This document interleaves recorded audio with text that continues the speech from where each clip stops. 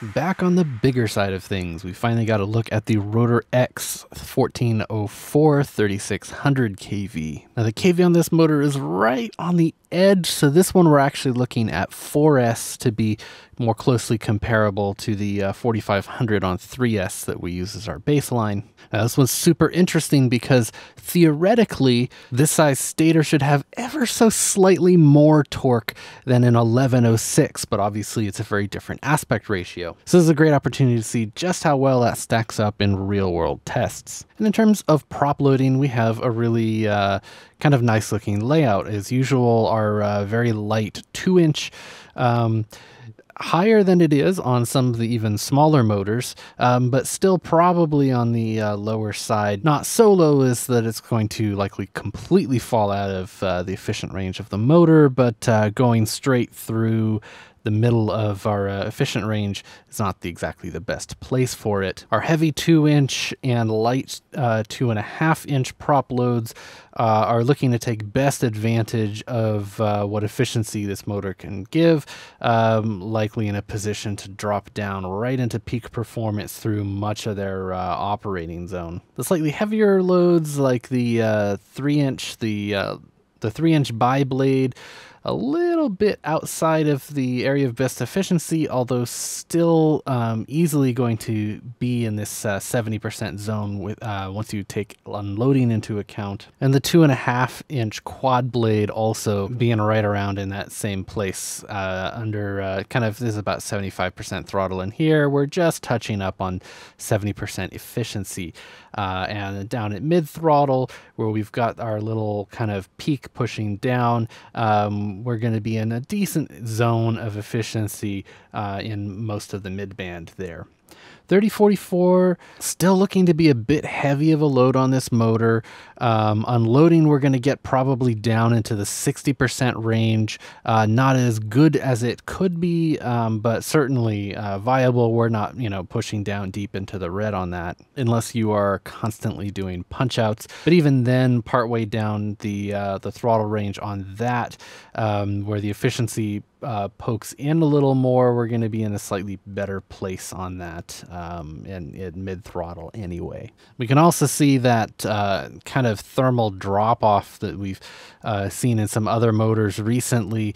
Um, so unfortunately, this isn't going to be the best uh, look at the thrust because you can count on better cooling in the air. So this drop off here, you're uh, not so likely to see unless you're really, really hammering on the motor. For the 3044, it's uh, telling us we'll see about uh, 260 grams of thrust, although if we trace that uh, torque line up, we're looking at something near 290, so 280, 290 uh, is pretty nice uh, on that uh, heavy prop, uh, as we've definitely got torque to make it spin. Looking down at the 3020, we're seeing about 285 grams of thrust, which is pretty nice, still in line with what we're seeing on the 1106s, and in a higher band of efficiency on the motor as well.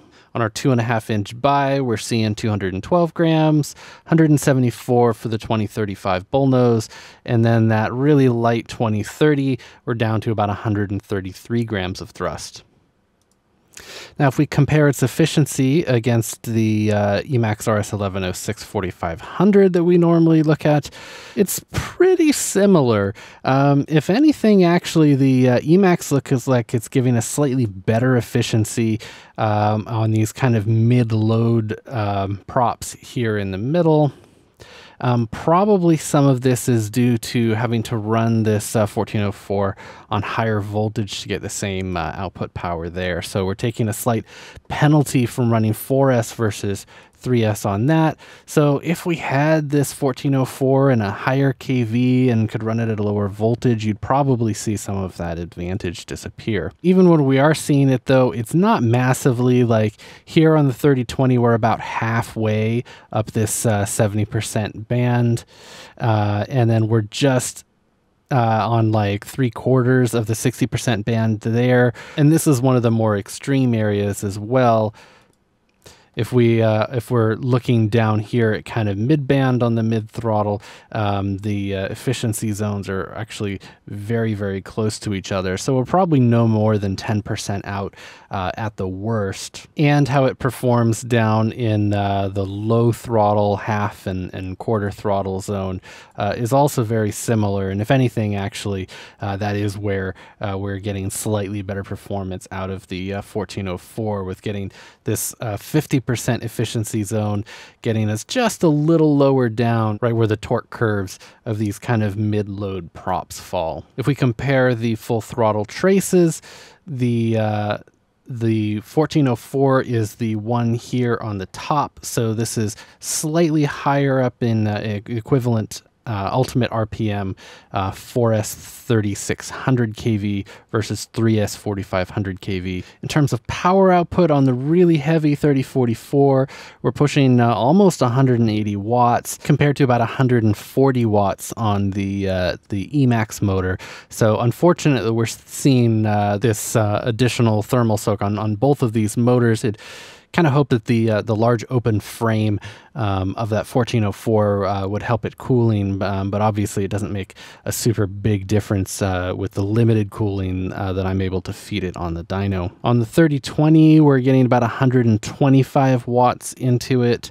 Our heavy two inch loads, we're looking at about 92 watts, and then down on our light two inch, only about 65 watt draw. And if you look at the slope of the uh, the torque curve there. Although there's some oddness at uh, very low uh, torque values, it's uh, probably brought on by vibration. Uh, if, if I had to guess, in, in these sections before the thermal soak starts to kick in, it does look like we're seeing ever so slightly uh, steeper slope there on the 1404 versus the 1106. So the torque delivery is very, very similar, but it does look like the 1404 does have an ever so slight edge um, on the torque front. So that's going to give you a slightly better acceleration as well, which is nice to have because these two motors weigh almost exactly the same amount. So we're not actually uh, suffering uh, much weight penalty for the extra torque from the 1404. Now, of course, I would be remiss if I didn't compare this against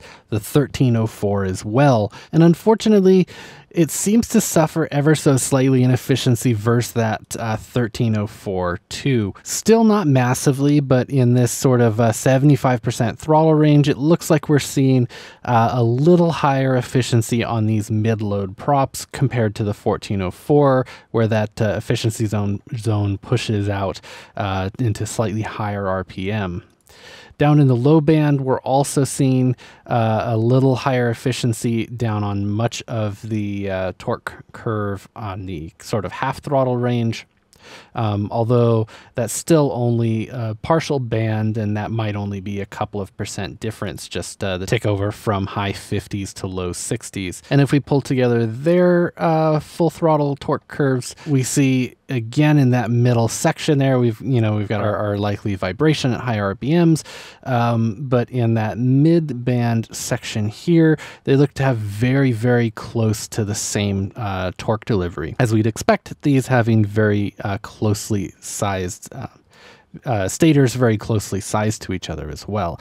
Uh, interestingly enough, the 1304 seems to be handling the heat uh, better than the 1404. We're definitely seeing a lot less uh, thermal drop off, although it is kicking in um, at high loads. Uh, even for the 1304, uh, but for some reason the 1404 not quite handling it so well. Um, right around uh, so this would be you know we're up at about 55 56,000 rpm and that's kicking in just about 30,000 so this is just slightly under 50% loading. But overall, the 1404 able to hold its own against other motors in its class, uh, delivering on the torque you expect from the slightly larger stator, and still maintaining a reasonable efficiency uh, in most of the zones that we would uh, want it.